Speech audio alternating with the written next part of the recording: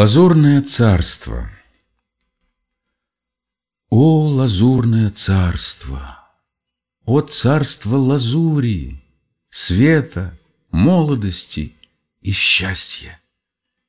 Я видел тебя во сне.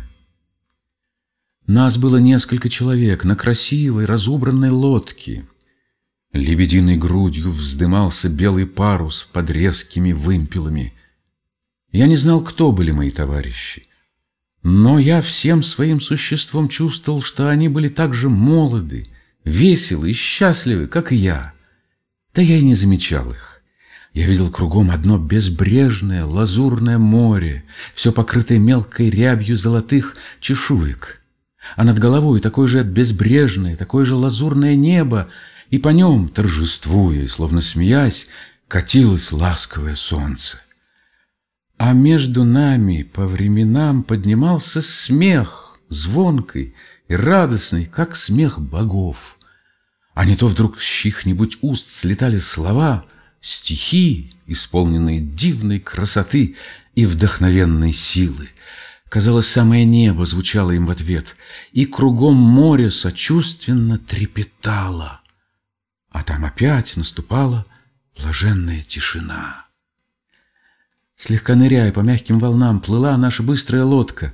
Не ветром двигалась она, ею правили наши собственные играющие сердца. Куда мы хотели, туда она и неслась, послушно, как живая. Нам попадались острова, волшебные, полупрозрачные острова с отливами драгоценных камней, яхонтов и изумрудов. Упоительные благовония неслись с округлых берегов. Одни из этих островов осыпали нас дождем белых роз и ландышей. С других внезапно поднимались радужные длиннокрылые птицы. Птицы кружились над нами, ландыши и розы таяли в жемчужной пене, скользившей вдоль гладких боков нашей лодки. Вместе с цветами, с птицами прилетали сладкие, сладкие звуки. Женские голоса чудились в них — и все вокруг — небо, море, колыхание парусов в вышине, журчание струи за кормою — все говорило о любви, о блаженной любви.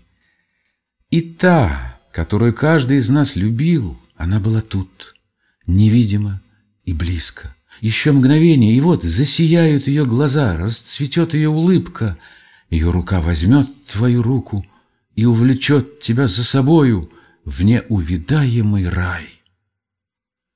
О, лазурное царство, я видел тебя во сне.